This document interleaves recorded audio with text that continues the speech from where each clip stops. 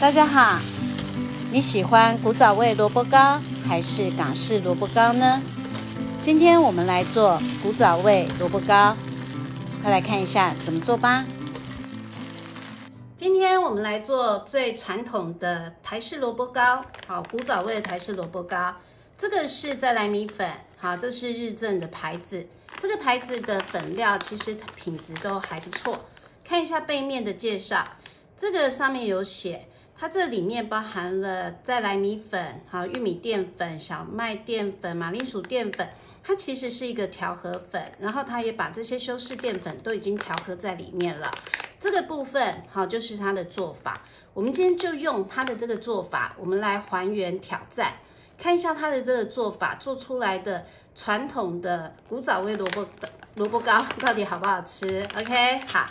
分量很简单哈，就是材料就是这些。那再来米粉，这个是五百公克。然后玉米的话，哦不是玉米，萝卜糕，这个萝卜糕是九百公克，水一千两百克，还有一些盐巴跟胡椒粉。那我们就开始喽。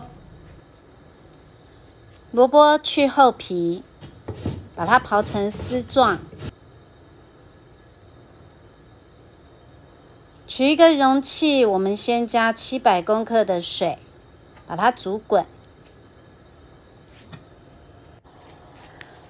五百公克的再来米粉，盐巴十克，二分之一茶匙的胡椒粉，把剩下五百公克的水倒进来，把它搅成糊状。接着，我们的萝卜水这个时候已经是沸腾的状况，不能是保温哦，一定要沸腾，迅速的倒进来面糊里面，迅速搅拌。如果这个时候它没有办法变成像这样子的糊状，那我们就要把它再放回去瓦斯炉上面，让它中小火的加热，然后我们继续搅拌，它就会变成糊状了。容器的边缘抹上一些食用油，避免粘黏。把这个萝卜糕用力的震动一下，尽量把空气排出来。在最上面上一层香油，接着我们大火蒸三十分钟。趁这个时候，我们来调一个蘸酱，这个是蒜泥、酱油膏、砂糖、开水，把它搅拌均匀，放入微波炉，微波二十秒钟。这个就是早餐店的蒜味甜酱油，喜欢吃辣的朋友可以再加一些辣油。蒸好的萝卜糕上面会有一些水分，我们用餐巾纸把它稍微吸干，放凉备用。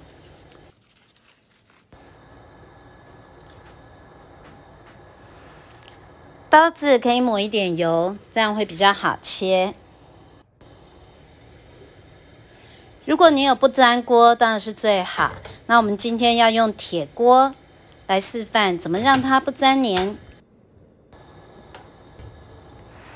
锅子一定要烧热，一直到它冒烟。好，这个时候毛细孔都打开了，然后我们再加上油，油会将毛细孔都封住，这样就不会粘黏喽。这个地方一定要处理好。不然，等一下你在煎萝卜糕的时候，它会整个糊底，会整个变得脆狗狗。好，你看这样是不是很疗愈呢？把它煎到两面恰恰酥脆，我觉得这个是萝卜糕最诱人的地方。好，出锅。